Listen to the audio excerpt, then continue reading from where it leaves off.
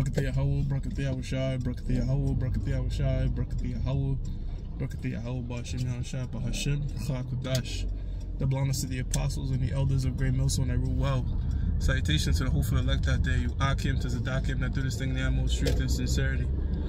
On the pre Shaman, this week's topic is going to be talking about seven women taking hold of one man. Um, comes from one scripture. I'm going to read it. It's the book of Isaiah, chapter 4, verse 1. And in that day, seven women shall take hold of one man. Right. And what day is it talking about? The day that you read about in Jeremiah 30 and 7, the day that you read about in Daniel's 12 and 1, and Jacob's trouble. All right, when all hell breaks loose. Anarchy. Second Ezra, the 15th chapter, taking place. Seven, this represents a complete number, uh, complete a complete number. All right, meaning it could be 14, it could be five, it could be three, in other words, women are going to be cleaving and put their egos aside to be around one man. Now, why is that? Well, we see it today in society, right? We see certain men um, with an abundance of women. The society has deemed that to be high value men. High value men throughout the history of time were able to have multiple women around them. All right.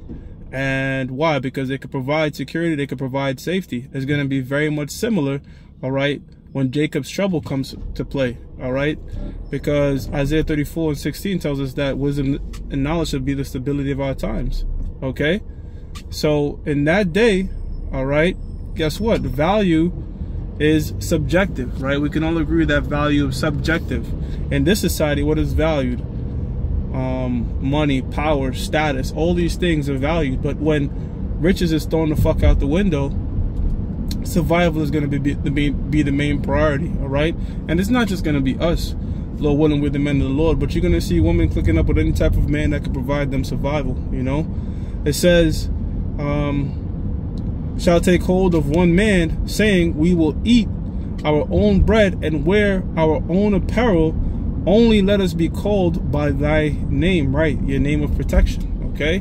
Because that's what's going to happen, all right? They're going to see people being, you know, women being raped, traded, and all that type of stuff, are they going to look for means of protection, you know, to hedge themselves against these things. That's where the men of the Lord are going to come into play, all right? So the brothers that are witnessing dry spells now, in that day, you know, Lord willing, all right, you ain't to have no dry spell because they're going to be bending to whatever you need, all right? It says, only let us be called by thy name to take away thy reproach. And that scripture right here cuts the notion that a man can only be with one woman a man can have as much woman as he can afford. Okay? As long as it is in the confines of the law. Okay? Meaning, I'm not saying, you know, the scriptures condone hookup culture, just running through bitches or what have you. Um, I'm not saying the scriptures about that, but in the ancient world, all right, when you had a wife, you you know, you could have multiple wives, but you had to provide for them. Not many people could do that, right? Just like how today, not many people could have multiple cars or multiple houses because that comes with a lot of responsibility, all right? So it's the same thing too back then with women, and even somewhat now, right? These rich guys that are able to do it, um, at least keep them around and keep them in a loop. Even in them um, Islamic culture, guess what? You have to take care of them, all right? And I think the maximum they could have is four wives, but it could have an infinite amount of concubines. So again, you gotta you gotta ask yourself, you know, which one is new? You know, which one is newer? This idea of monogamy, or the idea that's been around, which is polygamy, wherein uh, men can have multiple wives. That's been around forever. You know, and your, your woman might get her feelings about this. The sisters call them sisters.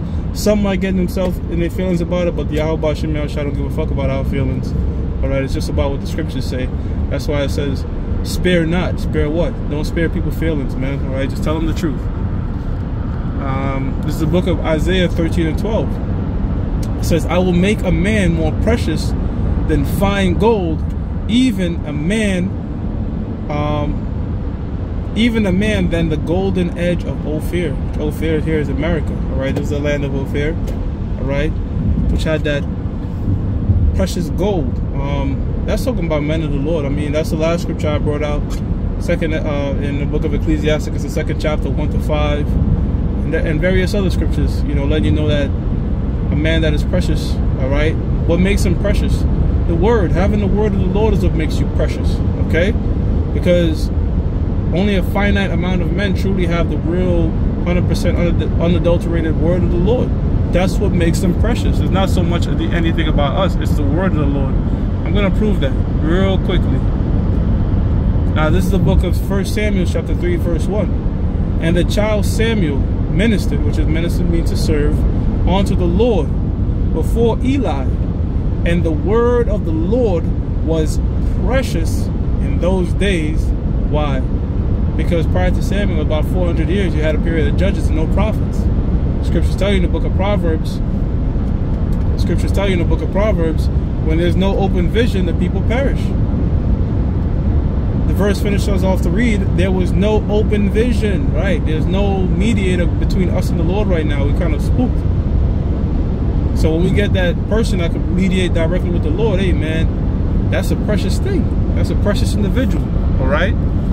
Now, what's gonna make us even more precious? Well, the elder Manata Zakba and different brothers already did the lesson that they're trying to ban the Bible. All right, and ultimately they want to shut this thing down. YouTube down, teaching the word, all that. You know, they flag our videos now, but soon you might be even be put to death for speaking against RFID microchip, which shall come to pass. Is the book of Amos 8 and 11. It says, Behold, the days cometh, saith the Lord, that I will send a famine in the in the land, not a famine of bread, nor thirst of water, but of hearing the words of the Heavenly Father, Yahweh. That's what's going to come to pass. All right? Me doing these videos, you know, every, every, you know, every, at least five days a week to my best of my ability, that's going to come to an end. The live stream, the apostles, all of it, it's not going to go on forever because it's prophesied that it wouldn't. Okay? And when that happens, they shut down the internet. Next, next, next major threat, possibly a cyber attack. Nancy Pelosi, she bought a bunch of stock in Palo Alto, which deals with cybersecurity. And you know these politicians are ahead of the game. Okay? Just like how they bought a bunch of Moderna stock before this um, thing happened. They bought a bunch of Pfizer and all these different before that thing in 2020 happened. Right? So follow the money. All right. So Palo Alto, companies like CrowdStrike, these things are being bought up. Why? For cybersecurity. That might be the next major crisis. Just speaking through the Spirit.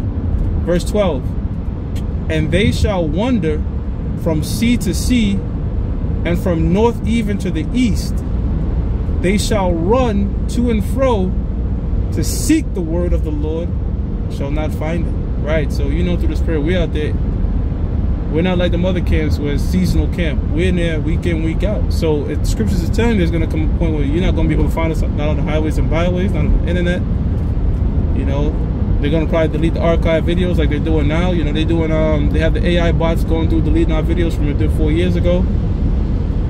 So get this word while you can because, again, just like gold or anything precious in this world, value is subjective, right? And our stock is going to rise when this word is not so easily accessible. And I remember seeing in 2020 when that thing happened, the inflow, all right, inundation of new believers and new followers on our videos because they were spooked. They didn't know what the fuck to make of what the hell was going on in 2020. Was this the end? Is this the, you know? Is this real? Is this, they was trying to find answers.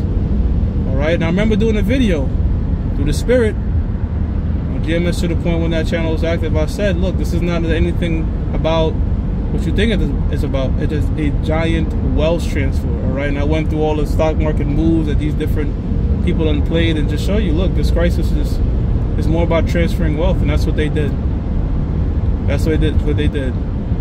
Constantly increasing more and more the middle, um, the gap between the lower class and the upper, and the upper class. They want to get rid of small businesses. That was the whole thing about it ultimately they want everything to be big box clubs like Costco's and BJ's. That way you can transact in cash. All right? That way when they make these different decrees it's going to be much more easier to pass. All right? Because that small businessman that will take you $20, all right? Or, or try to work with you, guess what? He guys should be out the picture. Now, the scriptures also says in the book of see if I can get to it now. Matthews.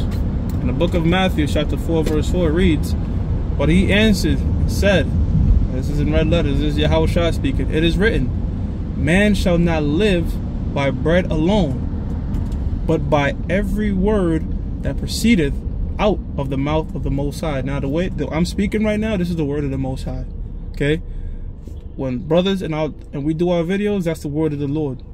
All right? When you hear the scriptures often, they went to inquire of the Lord. All right? They're talking about the prophets. All right? A lot of times, um, because the prophets act as mediators, all right, between the Most High and men. Now, this was this is the book of Luke, chapter 1 and 70. It says, As he spake by the mouth of his prophets, of his holy prophets, holy means separate, which have been since the world began. Right? So the prophets has always been on the scene, speaking, mediating to the people. So when I do these videos and I say, Oh, praises to Yahweh Shem Shah, I mean that because he's the one that's guiding my lips, helping me break down these scriptures, helping me learn from my apostles and elders to direct it to you. All right? And that's what we all doing. That's what all the prophets and brothers are doing right now directing the word of our Lord to our people, to the nations, and to everyone to warn them of what is to come. Okay? And Jacob's trouble is on its way. And in that day, as the title says, these women, these prideful, um, feminist, um, I don't need no man, and da da da da, it's going to be all out the window. All right? And I'm telling you why to the Spirit. Okay? It's all hell is going to break loose. And it's best um, source of protection is the Most High. Yahweh Shah, by having the word of the Lord. Okay? There's a lot of people having doomsday bunkers and panic rooms or what have you. I know um, Mark Zuckerberg went crazy with the panic room. The wealthy do it. Some of them might survive what's to come, all right? Ultimately, their judgment is going to be slavery. But our real panic room, our real safety bunker, our doomsday bag is these holy is the holy scriptures. Okay, because that's something you could take with you anywhere. Because we don't know exactly where we're going to be when all this shit kicks off. But the scriptures are going to be with us here right? That's why it's very important to plant, plant the seed now. All right. So with that, I'm gonna give all praises to Yahweh, Bashim Yahweh Shah, Bahashim Rakakwadash. That belongs to the apostles and the elders of Great Millstone True Well. Salutations to the whole elect out there, you Akim to Sadakim, to do the thing in the most truth and sincerity. Shalom.